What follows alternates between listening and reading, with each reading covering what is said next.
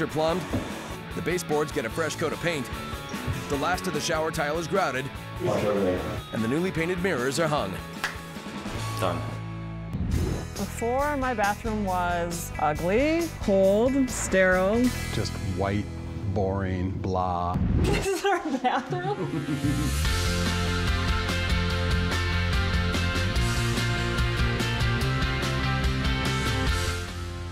Yes, we got tears. Oh, sweetheart. this is so incredible.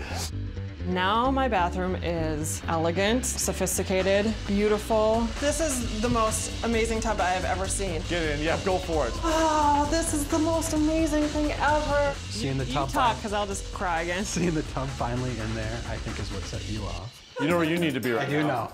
Oh, Yeah, and you know what? I- this is exciting. Massive creep. you guys did such a good job on everything. The screen thing wraps right into the mirror on the wall. The other thing you said to me when you guys, when we met you, is that you were what? Lazy. Extremely lazy. We said lazy, not extreme. I added the extremely, I've known you for a couple days now. that fires through there, you don't have to worry about it anymore. So, you wanted something a little bit more modern. Yes. We did with the floor and the herringbone. Killer. Look, Killer. I still, it's been how many minutes have I been in here? I still have the goosebumps. Does she get these a lot? No. Really? Good. Our old shower was like a really bad gym shower.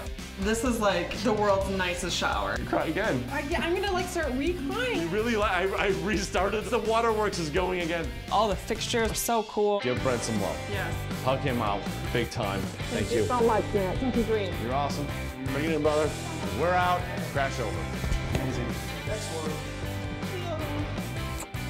If you run into Matt Muenster, just follow him out that store, drop everything you have, and just Run. run. I wouldn't hesitate to do it again. For sure.